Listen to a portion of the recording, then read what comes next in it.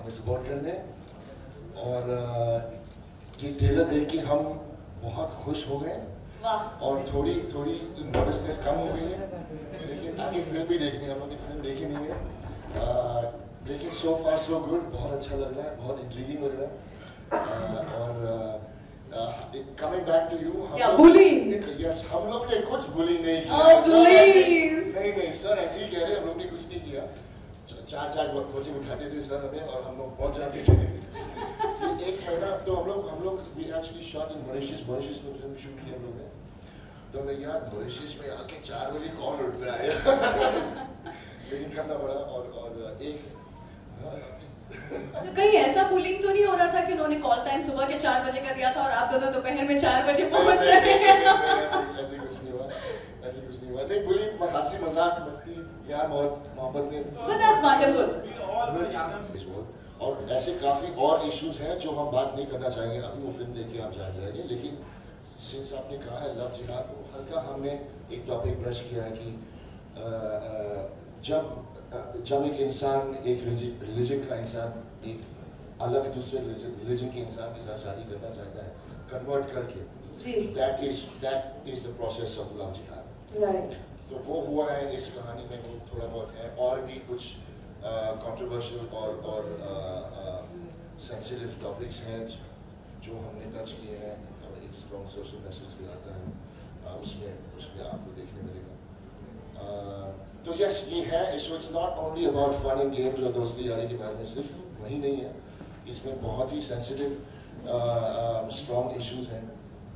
Uh, जो जो हम होप करते हैं कि कि ऑडियंस रिलेट करे रेजोनेट हुए और समझ पाए कि अ, ये कितने महत्वपूर्ण होते हैं। Hi, thank you for thank you for coming. Uh, so uh, as you've seen the trailer, we've tried to attempt to make uh, like try to touch a social topic Yeah. and tell it through uh, you know a light-hearted, easy, easy Yeah. breezy movie. So uh, we're trying to tell what is more important, either it's love or it's friendship. It's actually you can't pick one. It's also interconnected and it's all even in love you need to have friendship and even in friendship you need to have love Yeah, so that's exactly that we're trying to convey through the story that you can't pick. You can't pick between a friend or you can't pick between a friend and a girlfriend or probably the girl you love. You have to make choices in your life which will uh, inculcate every relationship that you have Right. and you need to value all of it. Good evening everyone बहुत बहुत शुक्रिया था आप लोगों को आने के लिए ब्रो कोड हम दोनों के बीच में काफ़ी स्ट्रांग है क्योंकि हम एक दूसरे को बचपन से जानते हैं तो एक ब्रो कोड बहुत स्ट्रांग चीज़ होती है लेकिन वो कभी कभी ना वो फिसल जाती है। यू नो आजकल के जमाने में relationships are not as what it used to be like 20 years ago. क्योंकि जमाना बदल गया है लोग शादी करने से डर रहे हैं। आजकल। लोग शादी करने के बाद डर रहे हैं आजकल। तो वो तो हमेशा से।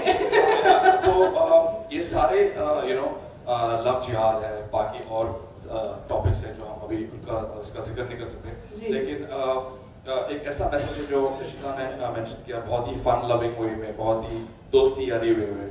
हम चार चारों के बीच में जो कहानी और अनीता मैम और दलिता हिंसवी फ़िल्म में है। तो it's it's a fun lot बहुत ही अच्छा बहुत ही अच्छा क्रू है हम लोगों का। बहुत ही ज़्यादा ब्रदर्स हम लोग ने बना दिए फ़िल्म में।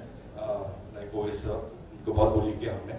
तो एक ब्रो कोड जैसी चीज़ है जो कभी फिसल सकती है। तो जब उसको पूरा लंबा सा डायलॉग निकल के शुरू सिटिंग इन कार एंड पूरा मुझे डिस्टर्ब मत करें दो दो घंटा ये लगता नहीं सर मेरे को पूरा एक ही साथ बोलना है मुझे एक ही साथ बोलना है। He was very dedicated to मैं पूरा डायलॉग एक साथ बोल के आप लोग दिखाऊँगा। And I thought to me that it very well मुझे मुझे कान में बोलता सिर्फ़ फ़िल्म की तारीफ़ करना उसके अलावा कुछ नहीं करना है।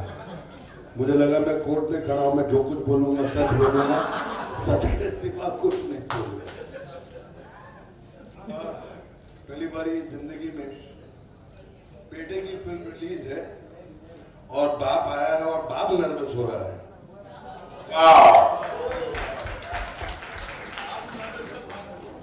नहीं मैं एक्चुअली तो दोनों ही मेरे बेटे हैं। मैं तो छोटे छोटे किस्से सुना रहा था प्रतीक को भी। जब ये पैदा भी नहीं हुआ था मैं अस्पताल गया था। इनकी मम्मी को मिलने और फिर ये पैदा हुआ ब्रिज कैंडी में। फिर एक सितारा धरती पे जन्मा जिसका नाम है प्रतीक। और सेम हॉस्पिटल में मेरा बेटा पैदा हुआ यानी कि मेरे दोनों बेटे मंच पे खड़े। I wish you all the best और थैंक यू बस इतना ही हाँ और कुछ नहीं। सिर्फ़ एक चीज़ और बोलूँगा मैंने गलती से फ़िल्म देखी है। पूरी फ़िल्म देखी है। चुपके से जाके ऑफ़िस में देखी है। और आज मेरी बेटी मुझे बोलेगी कि मेरे फ़ंक्शन में तो आप कभी आए नहीं। बेटे के फ़ंक्शन में चले गए। मैंने कहा, भैया, बेटे की ये फ़िल्म है जो इंडस्ट्री के अंदर हंगामा करेगी क्योंकि बहुत बढ़िया फ़िल्म है। दोनों ने बहुत, सबने बहुत अच्छा काम किया है। And I was really moved emotionally in this film दोस्ती क्या होती है, वो जज्बा क्या होता है डायरेक्टर साहब का काम बहुत अच्छा है। आई लव यू डायरेक्टर अगली फ़िल्म में तो कुछ दे देना हमको। और प्रोड्यूसर साहब का दिल बहुत बड़ा है तो बहुत अच्छा खर्चा किया। और डिस्ट्रीब्यूटर और डिस्ट्रीब्यूटर आए हैं इन्होंने बोला कि मैं हिंदुस्तान में जितने थिएटर हैं अगर बाहुबली को मिले थे छह हज़ार और अगर साहू को मिले थे दस हज़ार मैं पंद्रह हज़ार थिएटर लेके आऊँगा। सर, मैं झूठ नहीं बोलूँगा। हाँ बाहुबली की जो ताकत होती है, उस हिसाब से थिएटर मिलते हैं।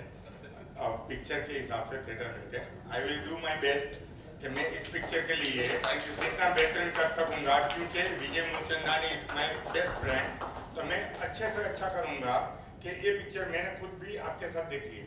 बराबर, आप भी थे वहाँ पे। तो मुझे पता है कि पिक्चर में दम है। लेवल बेस्ट ट्राई करूँगा कि मैक्सिमम थिएटर करके दिखाऊँ।